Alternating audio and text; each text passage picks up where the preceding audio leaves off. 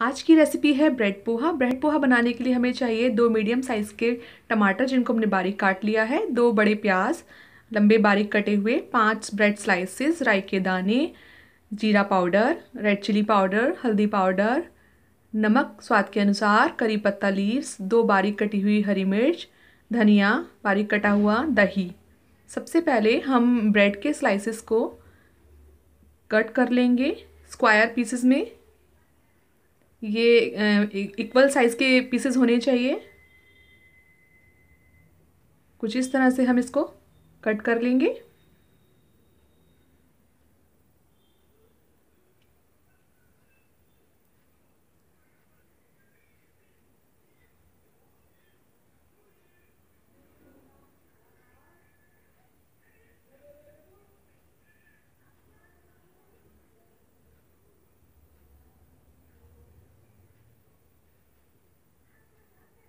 देखिए, ये कुछ इस तरह से दिखेंगे।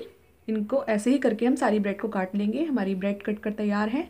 अब हम दूसरी तरफ़ लेंगे कढ़ाई। कढ़ाई में हम डालेंगे कुकिंग ऑयल। आप अपनी चॉइस का कोई भी कुकिंग ऑयल ले सकते हैं। इसको मैं थ्री से four tablespoon cooking oil ले रही हूँ। इसको गर्म होने के बाद हम इसमें डालेंगे राई। वन टेबल स्पून राई ले रही हूँ मैं यहाँ पर। जब ये राई चटकने लगे क्रैकल होने लगे, तब हम इसमें डालेंगे करी लीव्स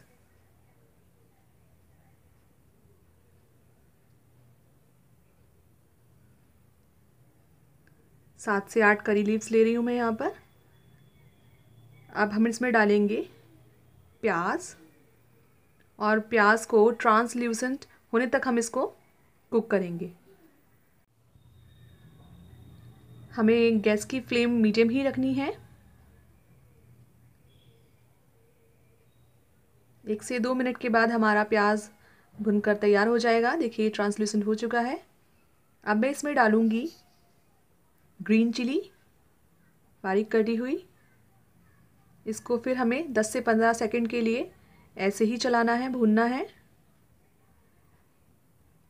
इसके बाद हम डालेंगे बारीक कटे हुए टमाटर। टमाटर के बीज को मैंने निकाल लिया था, उनको फिर कट किया है। अब हमें इसको फिर से 10 से 15 सेकंड के लिए ऐसे ही चलाना है। फिर हम इसमें डालेंगे अपने मसाले। एक टेबल स्पून हल्दी पाउडर आधा tablespoon red chilli powder एक टेबल स्पून जीरा पाउडर और नमक स्वाद के अनुसार डाल रहे हैं।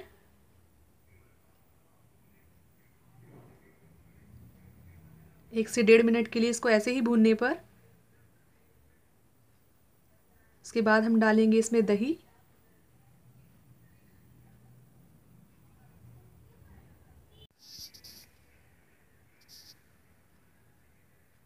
देखिए भुन चुका है। अब इसमें हम डाल रहे हैं दही। यहाँ मैं थ्री टेबल स्पून दही का यूज़ कर रही हूँ। आप चाहें तो लेमन जूस भी इसमें डाल सकते हैं बट मुझे दही का फ्लेवर ज़्यादा पसंद है, इसलिए मैं दही डाल रही हूँ। दही डालने से ये होगा कि जब हम ब्रेड के क्रम्स डालेंगे ब्रेड डालेंगे तो ये उसके अंदर मसाला ब्रेड के अंदर अच्छे से चिपक जाएगा। और जब भी भी आप दही डालें तो फ्लेम को लो कर लें ताकि आपका दही फटे ना मसाले में डाल के।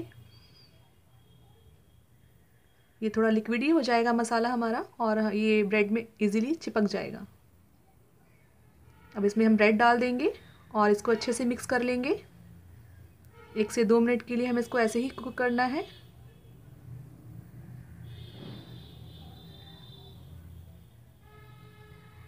देखिए हमारे पोहा अच्छे से मिक्स हो चुका है। हमारे सारे मसाले ब्रेड में चिपक चुके हैं। अब हम इसमें डालेंगे धनिया। बारीक कटा हुआ। और इसको फिर एक से दो मिनट के लिए हमें मीडियम फ्लेम पर ही कुक करना है।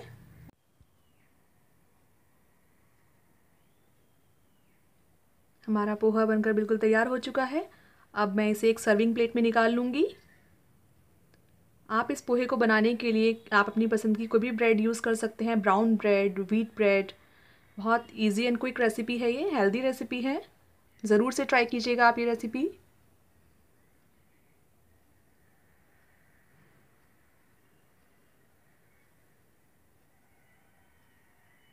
और फिर मैं इसको गार्निश करूँगी थोड़े से और धनिया पत्ती के साथ।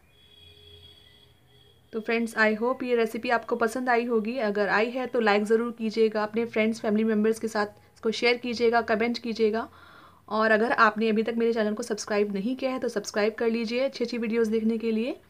मैं मिलती हूँ आपको अपनी नेक्स्ट वीडियो में, तब तक के लिए take care bye bye stay happy.